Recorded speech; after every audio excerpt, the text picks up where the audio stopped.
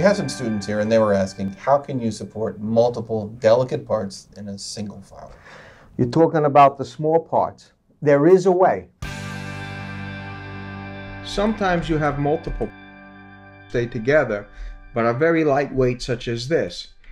In that case, good to build a barrier around or something, one that everybody can get a hold on. The material is delicate and cannot be overly handled.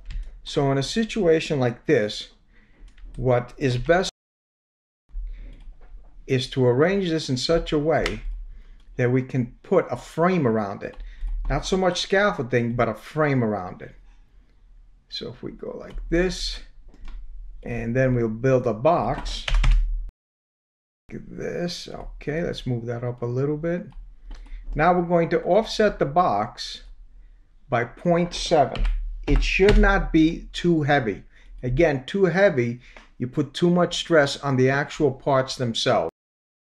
Okay, there we go. So let's get that. There you go. Something like this is perfect. Let's bring that in a little bit. Okay. Now you need the box you're going to build. So let's disable that. Let's bring something like this. Let's bring something like this. And let's bring something like this. Okay, we're ready to begin. First, we're going to bring this a little than the very bottom of all these pieces. Now we're going to extrude it straight and actually build a wall that goes just past the highest prong. Okay. Now we're going to bring this up and we're going to pipe that with diameter of one millimeter. Perfect. And we're going to copy. Put one here. Put one here. Put one here. Here. Here. And here. Now obviously you don't want them sticking out, so you might have to do some scaling in order to fit it within the parameters of the cage that you're forming. Okay, now you'll notice that the box is very high. Sometimes if the box is too high, it's going to cause a lot of stress. It's good to put a hole through the box, but not going where you have your sprues. So let's make a copy of this. That would be good. Let's take this and this.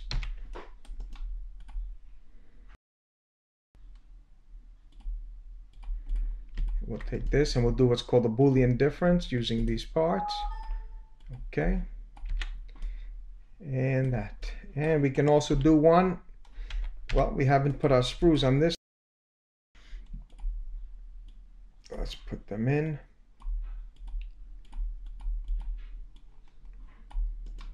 and we'll make copy them in between everything to hold it all together. Okay and if you're a nervous Nelly like I am you can always put one on the bottom.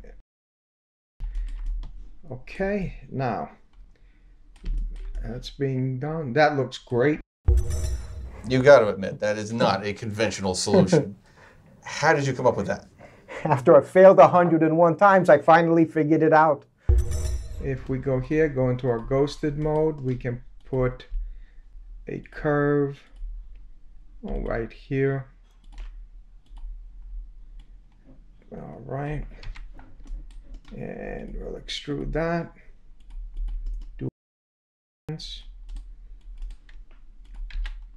Okay.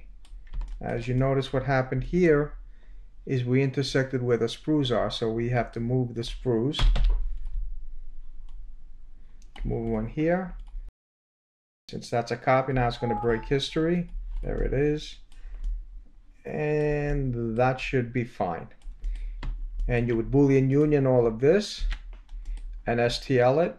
Now, if you feel you need to put more, maybe one down that's fine. In this case, what happens is they can grab around the box, they could sprue around the box, and there's no need to worry about the prongs breaking off.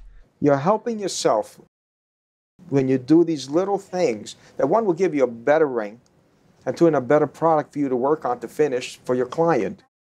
In summary, we covered situating your parts in a box, building a wall, connecting your box, and preparing your structure for casting. Hi guys, thanks for watching. Please look for other videos in this series and learn how to perfect your trade.